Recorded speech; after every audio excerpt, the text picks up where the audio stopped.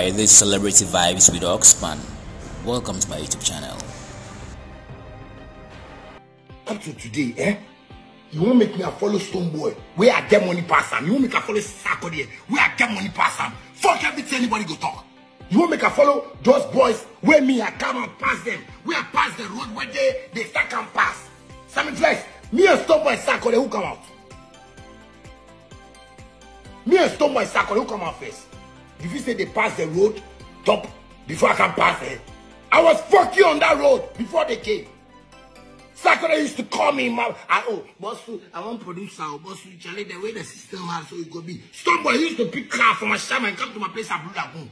God day, Sunday. The moon they watch.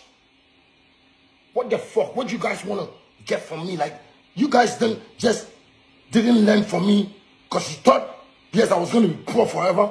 No.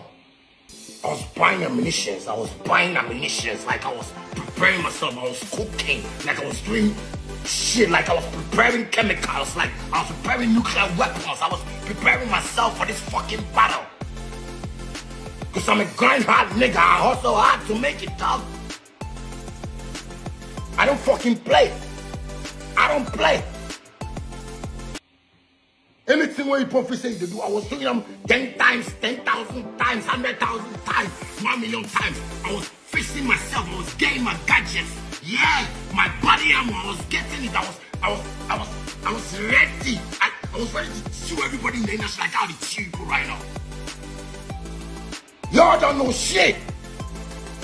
That's why when I do something, I say, make nobody come into my lane. Because see the thing, I can't find out, say, me and my fans.